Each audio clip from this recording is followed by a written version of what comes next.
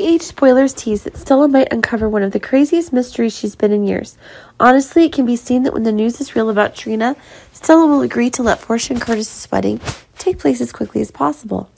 Of course, everyone agreed that Trina was Marshall's niece, but when Jordan provides shocking evidence, it's possible that Stella herself will not be able to deny the truths that she has hidden for so long.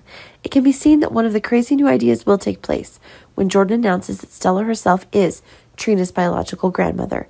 That is what makes both Stella and Curtis being placed in one of the most special situations ever. It should be remembered that things are still taking on an unexpected character now, and that is expanding further on the relationship between Curtis and Stella. From my aunt and uncle, it is possible that Curtis is realizing that it is Stella who is Curtis's real mother, and that is making Curtis think that he has been deceived for too long. But it is possible that now is the opportunity for Curtis himself to ask for a purity from Stella, and thereby force Stella to accept the marriage between Curtis and Portia. But for Stella, it seems that everything is happening too fast, and that is making her unprepared. Stella couldn't have imagined that it was an unexpected relationship that was causing the secret she had kept hidden for so long.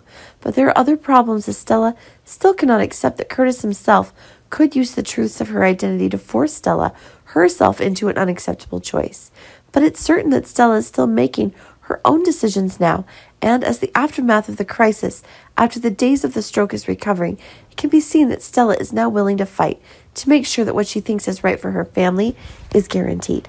But there's still another reason why Trina is now a member of the Curtis family. But it can be noticed that the relationship between Trina and Curtis before was not very positive, which is why Curtis now has so much more to do. But really, it's Curtis who now has a huge incentive to reconnect with Trina now that their relationship has been confirmed to be related by blood.